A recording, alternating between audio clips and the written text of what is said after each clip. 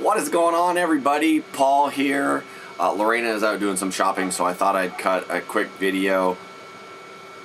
Oh, stop being such I'm a not big being baby. a big baby.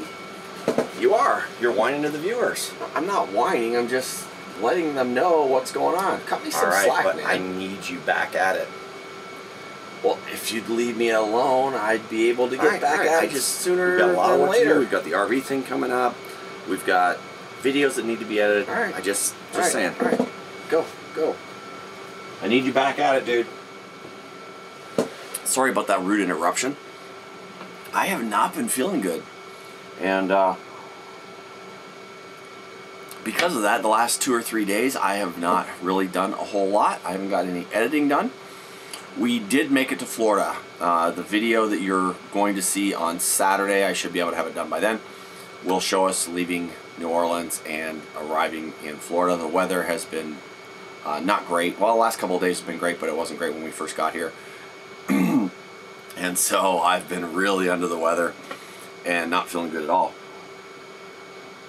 But we have checked out the venue for the RV thing. That is uh, going. We're taking care of that.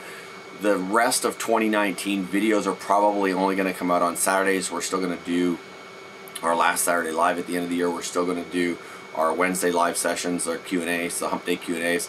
But uh, as far as the the Tuesday Saturday videos, I think probably through the end of the year, while we're trying to take care of the RV thing and making sure that goes off without a hitch, we are going to probably just do Saturdays only. Uh, if I can get an extra video out here and there in the, the midst of all this chaos, I will do that, but I don't want to make any promises. So that's what's going on with us. We did make it to Florida. Everything's good. We're good. that's said, Just not feeling 100%. I hope all of you guys are doing well. And that's all we've got for you at this time. And we'll see you again in the next episode. It's weird ending these without Lori here. I just don't even know what to say. Can't do our whole spiel back and forth about subscribing. Yeah, if you're not subscribed, make sure you subscribe. Not all the videos are this bad. Some of them are actually pretty good. I mean, they're, they're